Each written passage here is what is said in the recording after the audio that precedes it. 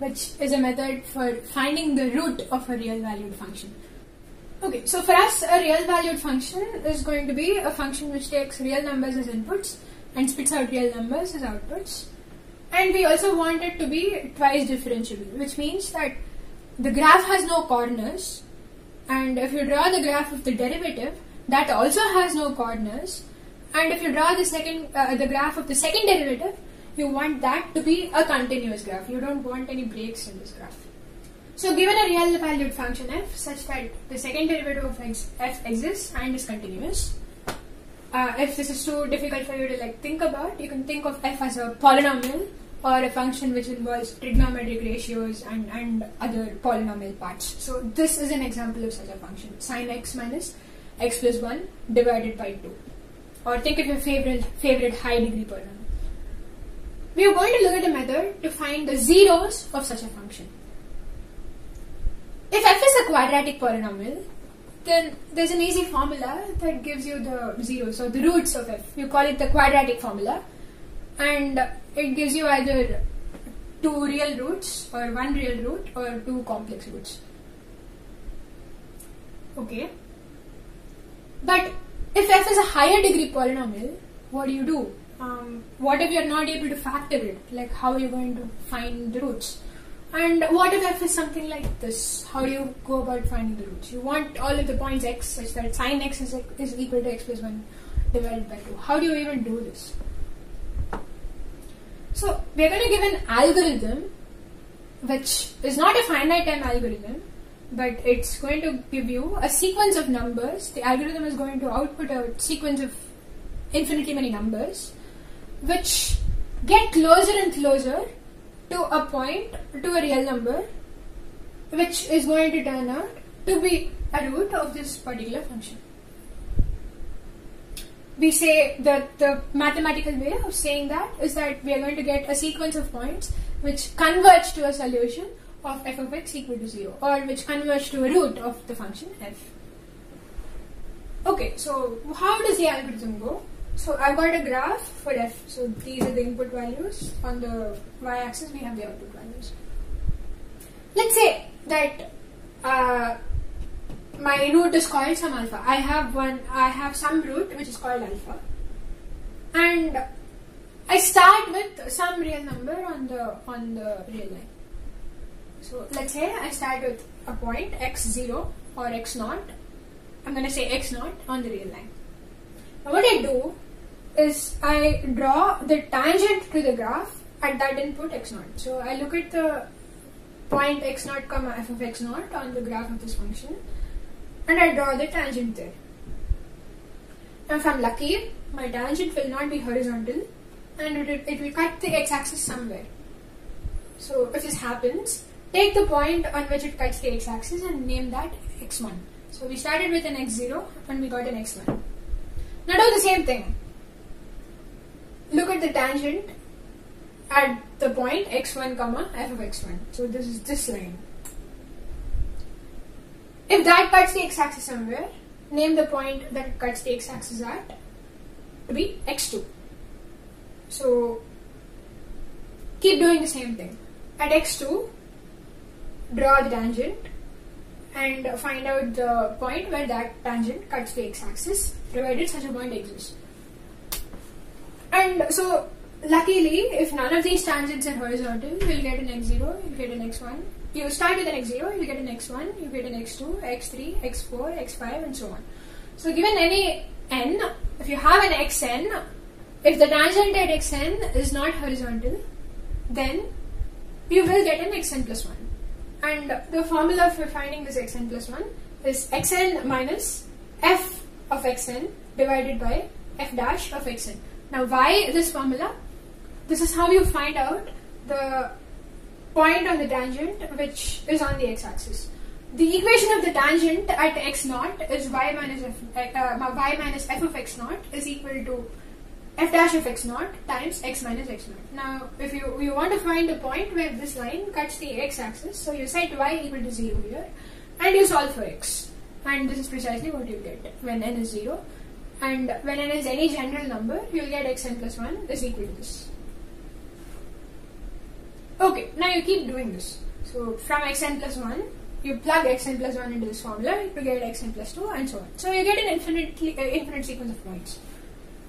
It turns out that the sequence of points will converge to some number alpha where alpha is a root of the function, where alpha is what we're looking for. If some nice things happen, if two conditions are satisfied by the initial guess x naught that we start with. So x naught is called the initial guess because we assume that x naught is going to lead to a sequence of points which give us a root at the end. Now, what are the conditions? Now, firstly, you want x naught to be in an interval around the root where the derivative is never equal to 0. What does this mean? The derivative, if you recall, is the slope of this tangent of the derivative at x is the slope of the tangent line that we draw at the point x comma f of x to the graph.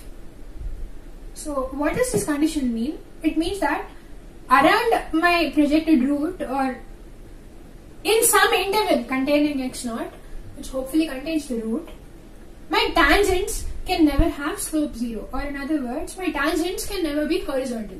Because we just saw that if for some xn the tangent is horizontal, we'll not be able to find out xn plus 1. Graphically, there is no point where the tangent will hit the x-axis and according to this formula, f dash of xn will be equal to 0, so xn plus 1 will be undefined.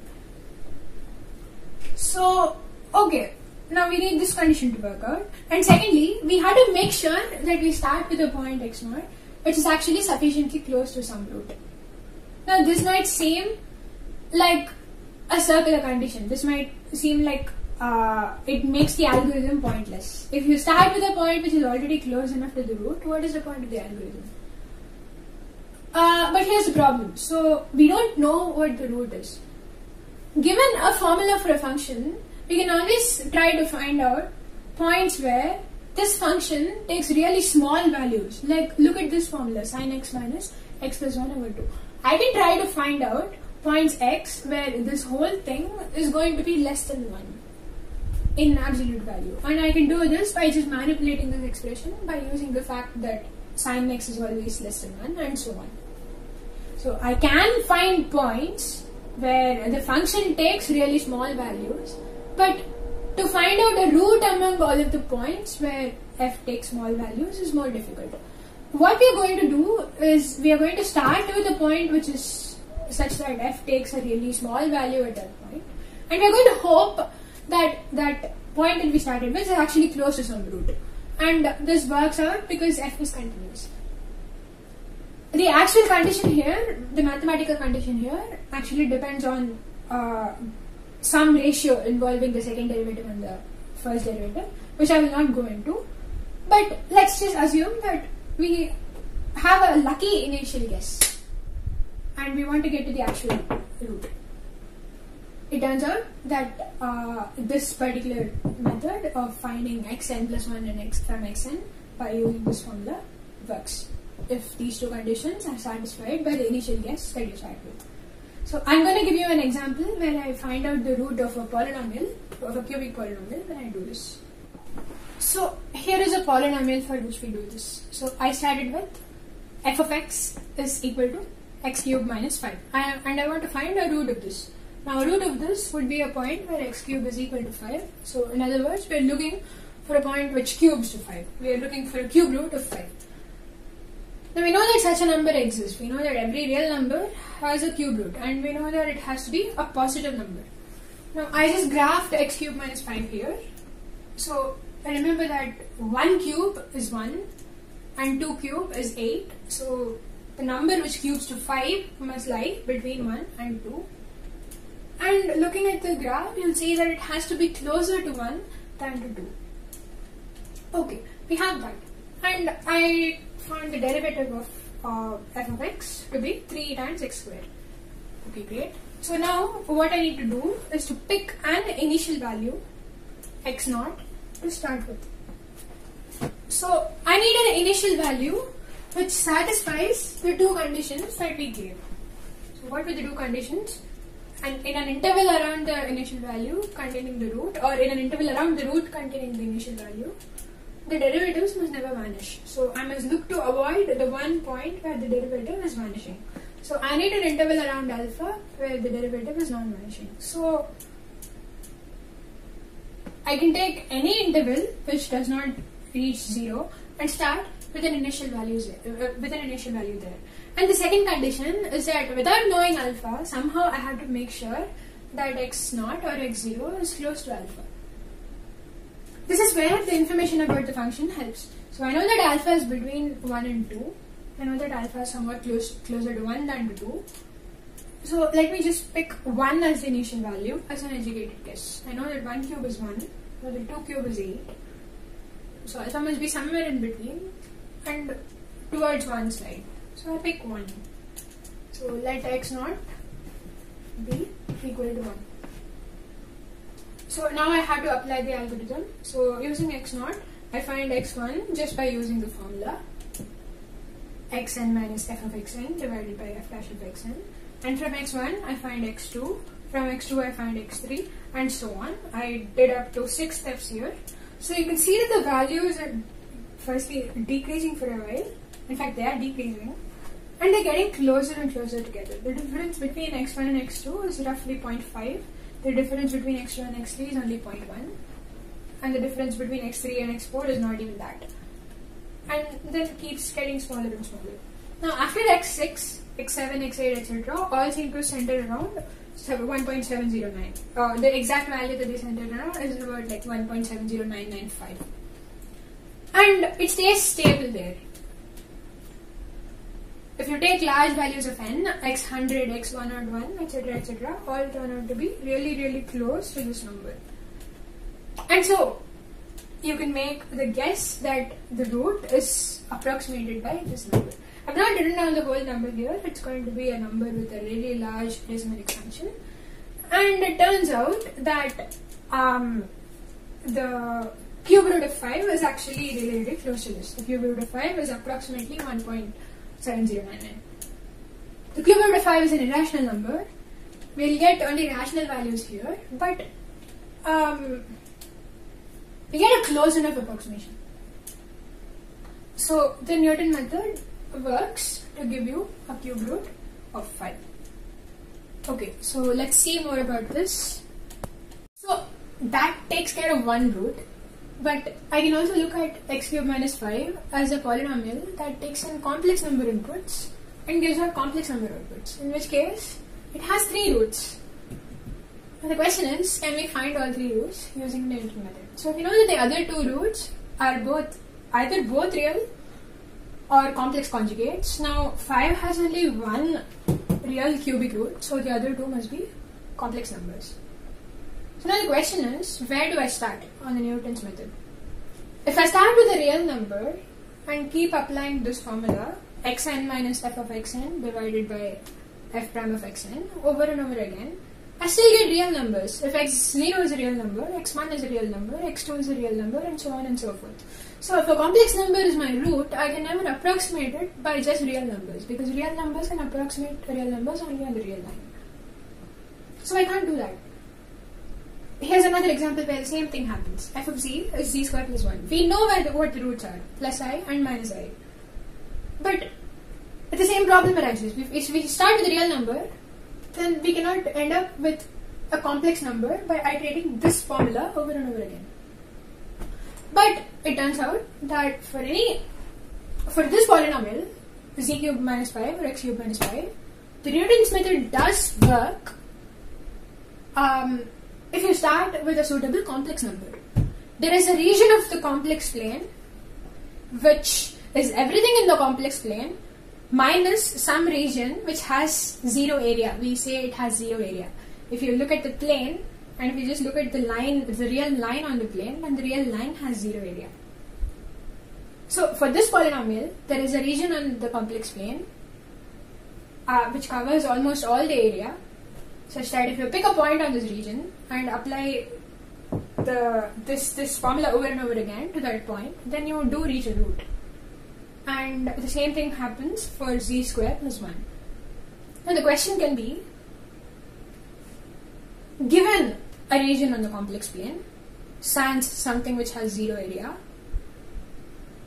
and given a degree d polynomial. So let's fix a degree d and let's fix a region on the complex plane which is almost the entire complex plane minus the real numbers maybe and other parts.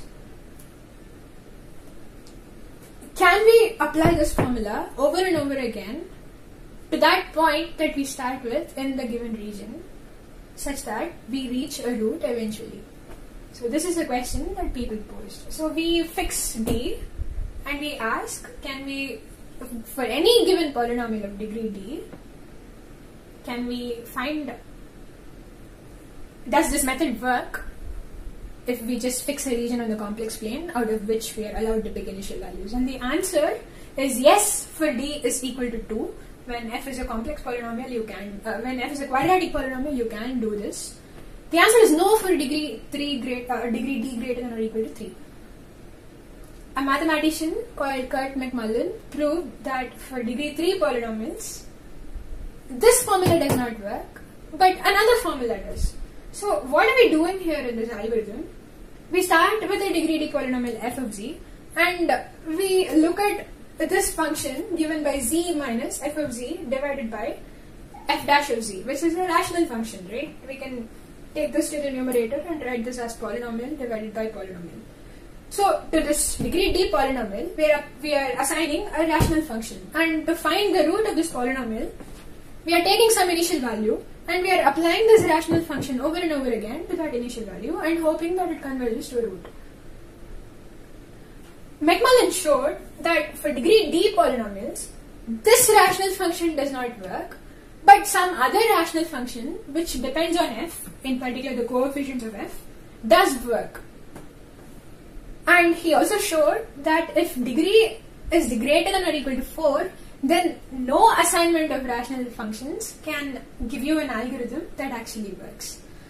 And this field of study is included in this subject called dynamics in one complex variable. What we're studying in all of this is the long-term behavior of functions like this, of rational functions. And this is what the subject does. It studies the long-term behavior of rational functions which take in one complex variable and gives out one complex variable. And the long-term behavior can be used to answer questions like this. This is just one particular question that we answered. Uh, if you're more interested in this subject, uh, there is this book um, which you can read after you've taken an introductory introductory complex analysis course in college or at the high school level. Uh, it's a book by John Milnor. Uh, please look it up if you're interested in this method. Okay, um, thank you. I hope this was interesting.